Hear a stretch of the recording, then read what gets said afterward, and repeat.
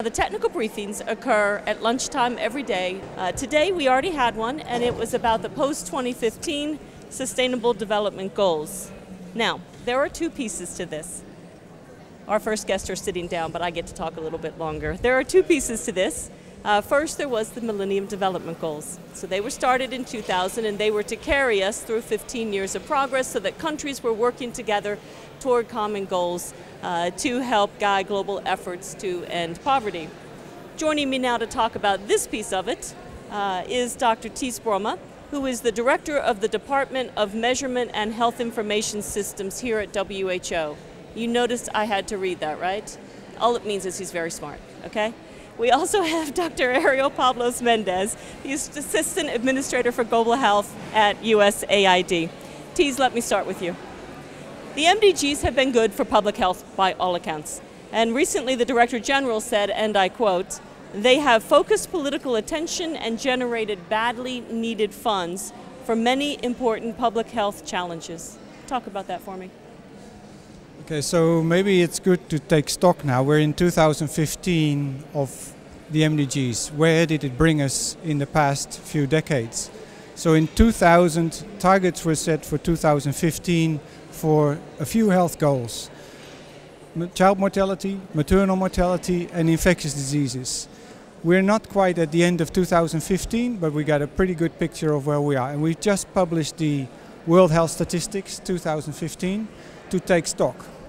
So just a few highlights because first of all I think we should keep in mind that the progress has been spectacular.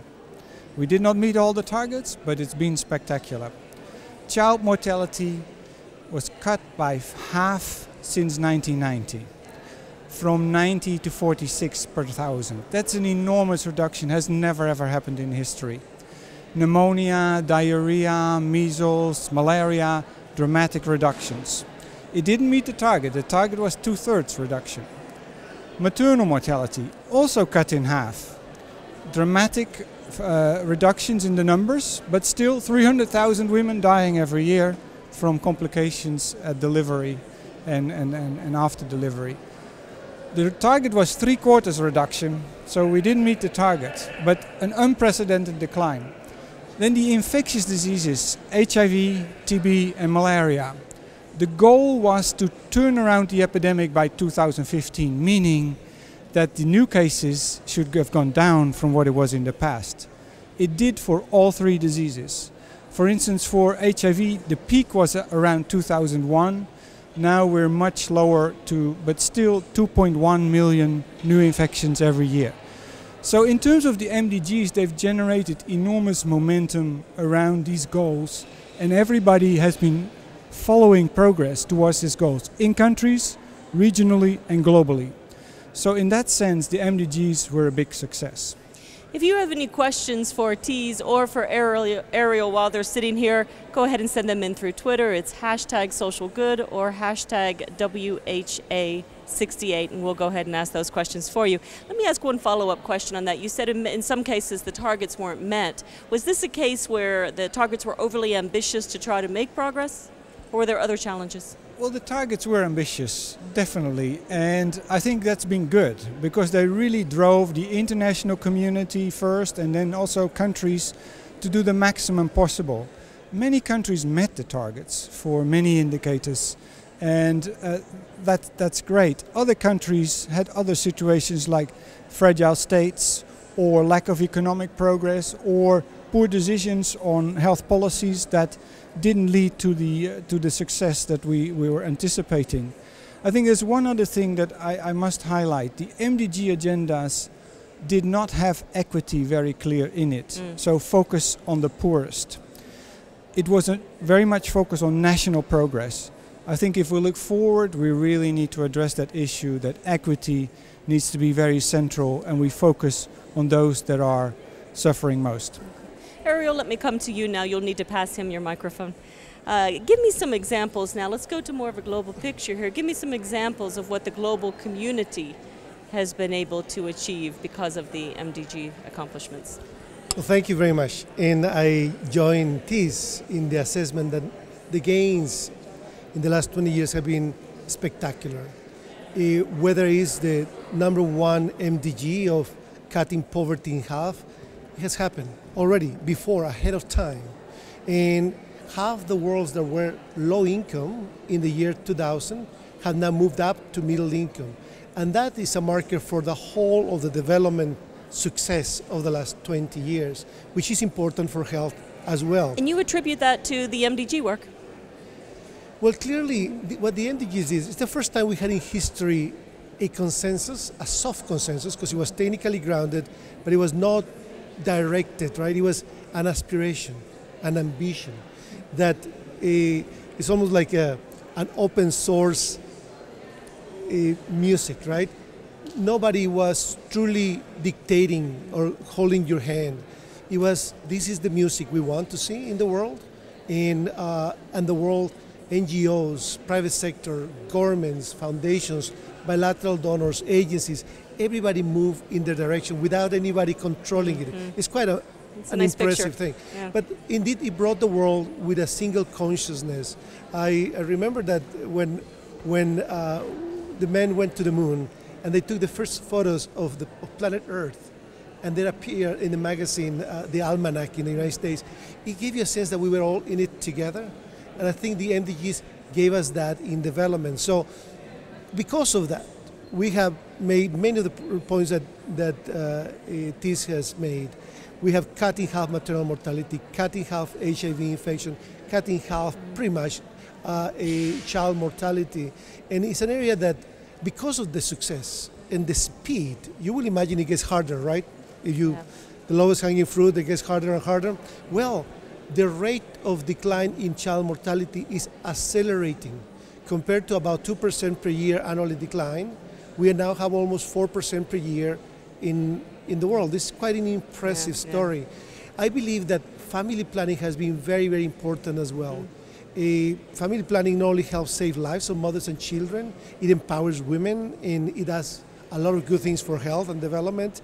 And then it brings a demographic dividend as well that has contributed to the economic improvement. So the economic improvement has come from many, many forces, but clearly uh, the demographic dividend, thanks to family planning, has been also quite crucial. I want to ask both of you did, did the accomplishments made through the Millennium Development Goals exceed your expectations at the beginning?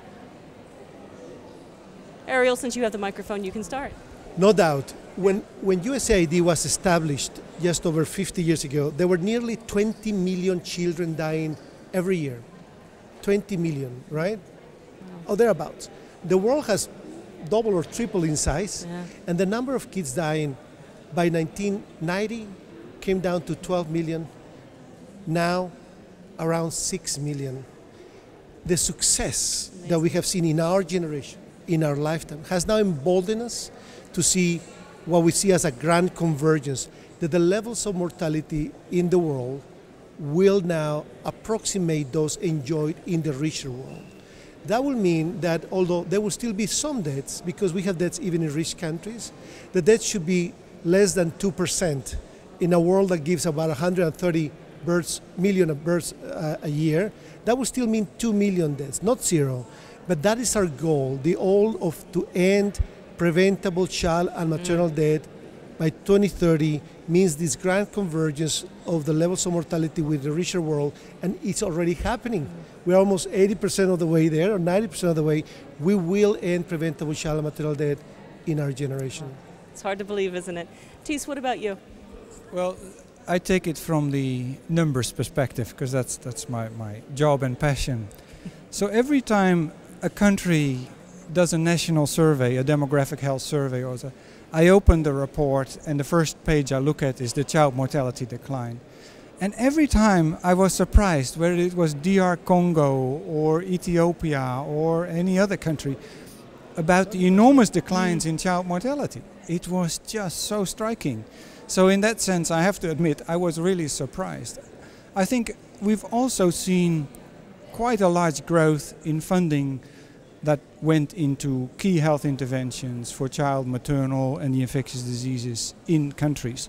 And so, what it tells us also is that more money can make a difference. And I think that's uh, this can do lesson I think we have to take forward. So, it, it, it's, it, in 2000, I would not have thought that we would be in this place now. Yeah. Ariel, let me ask another question to you. Where does the focus need to be now? Uh, finishing what? Finishing this in 2015, plus also looking forward. Where, where does the focus need to go?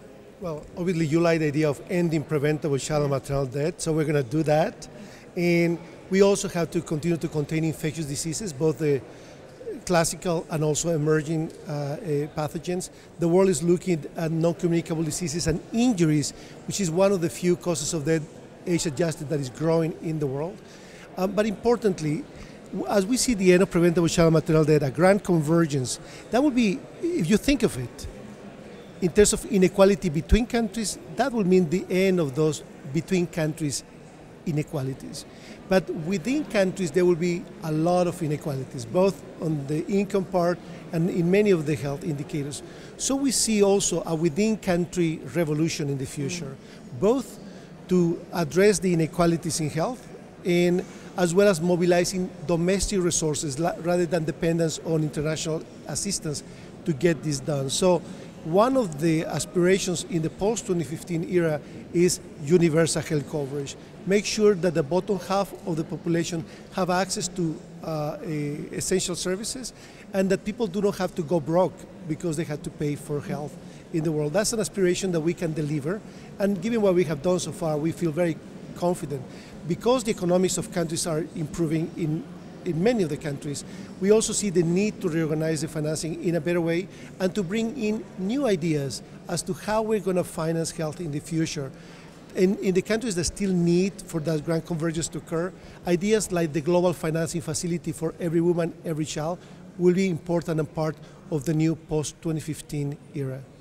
You, you, know, I'm going to have T stay with me in just a moment. He'll be here for two blocks from now, but I'm going to lose you, so I want to ask you one more question. You just sure. mentioned the idea of financing uh, these types of investments. How do you do that? How do you ensure that you've got the investment that you need uh, in these types in the in the work that brings us to these types of goals?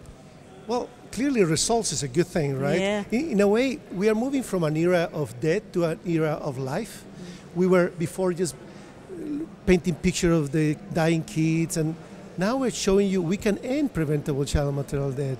That's possible, and it's going to be about thriving and surviving. Now, to do so, also the economies will change. While uh, the international community remains quite generous, and the American people has been one of the leaders in, in investment really in, in many of these areas. Uh, we expect countries to do more, and so we are looking at the economics of countries, their GDPs growth, their taxation, their uh, total expenditure, what public, what private, and how we can bring together resources locally to address these needs. Domestic resource mobilization and transparency will become fundamental to financing health and mm, development mm. in the post-2015 era. In ideas, for example, in the year 2000, many poor countries were drowning in debt and their societies were collapsing because of AIDS in Africa. Now Africa is one of the fastest growing regions in the world. They can now see their financial growth uh, and their economics growth, and you see, hey, could we not borrow from that future to save lives today? And the answer is yes. So we are creating mechanisms that will allow us to borrow from the future to address needs today, country owned, country half owned by the countries, half paid by the international community, bringing private capital to all sort of innovations in financing. And uh, indeed, uh, at the end, is organizing all of in a way that will be sustainable and fair. Ties, let me ask you one follow-up question. We're going to get into the, the financing aspect of it a little bit more in your next segment. Uh, it's not right after this, it's two from here.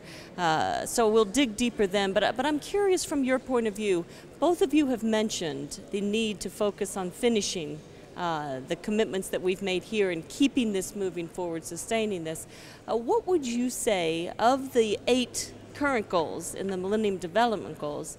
Uh, what would you say is the one that needs the biggest push still? Perhaps it's made the least amount of progress, perhaps it has the most to gain. You can pick the reasoning why, but what is the, the, the one you would say we absolutely need to put a full court press on?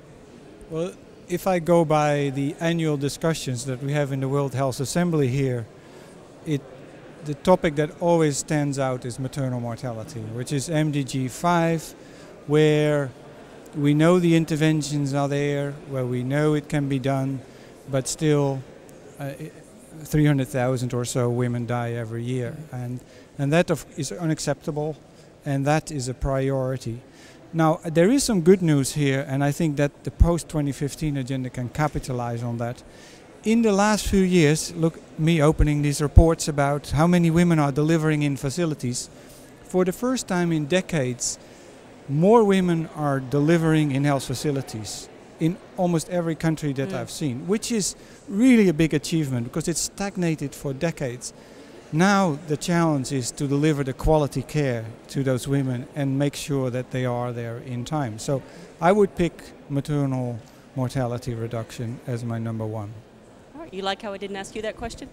but you're going but in. It's a great, it's a great question, and uh, we actually have been looking at each of the priority countries which USAID supports, about 24 of them, and we there's a tool, a Johns Hopkins tool based on data that Ties and others put together, called the Life Saving Tool, which allows you to calculate if you put a dollar, where will that give you the most bang? Oh, really? What is the most feasible based on what other countries in your region and income status have accomplished, what is possible, and how much does it cost to reach that optimal status? And when we did that across our countries, lots of things are important, as this has mentioned here. Many vaccines and everything is important. But the one thing that jumps every time is investment in family planning. Mm. It jumps every time. Family planning alone could help prevent 30% of the maternal deaths, 25% of the child deaths, empowers women that allows to improve health for the rest of the family and the communities. And as I mentioned before, it brings on a demographic dividend of 2% of GDP growth compounded over 20 or 30 years. So, but even just based on the life saved part of those three big outcomes for planning, it, it comes ahead as one of the most important things we are doing, and the world needs to do obviously more across everything.